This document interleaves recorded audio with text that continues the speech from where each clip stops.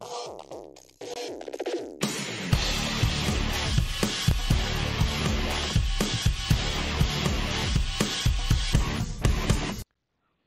is up my XIM community? It's Diadem37 here bringing you another XIM tutorial.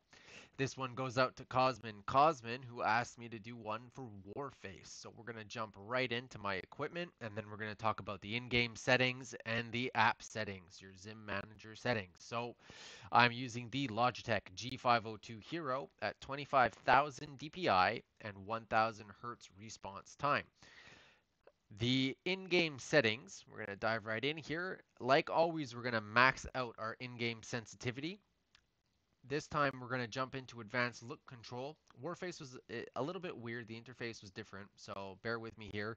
Uh, if you look at your suggestion on their website, they're going to tell you to, to go at the bottom of this list where you have your yaw, speed, and pitch and all that good stuff. We're not going to touch that. I, I did the suggestion first when I started building this, and it just it felt wonky. It really didn't feel good no matter what I did with the XIM app itself. So I decided to set a baseline in the XIM app and start playing with the in-game settings. So what you're seeing here is what I finally came up with, the finished product.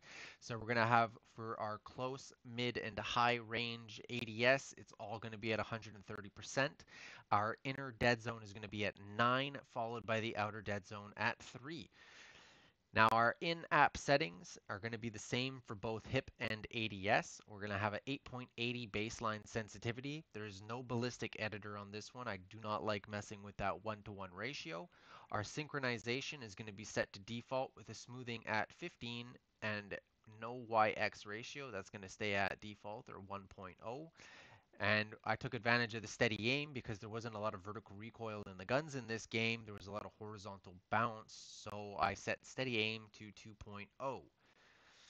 Now, for our looting and inventory, like in my video for Apex Legends, this is following suit. We are going to go to our auxiliary one. You can label it whatever you want. I label it looting and inventory. I have it set to 2.80 on slow. Again, no ballistic editor. And uh, particularly for a lot of my looting settings, I use a lot of boost. So in Cyberpunk 2077, I'm at 3000, but for Warface, we're going to set that to 1000. Remember, I'm using a 25,000 DPI mouse.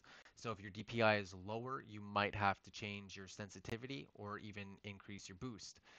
Uh, now, how do we swap our thumbsticks around or our mouse in WASD? Well, we're going to check off the left some left stick here. We're going to unbind the WASD from the left stick and we're going to bind those to the right stick down below. That pretty much sums up this configuration, guys. I hope this helped. Make sure to hit that like button if it did, and make sure to comment on any other games that you want me to build configurations for. Catch you guys in the next video.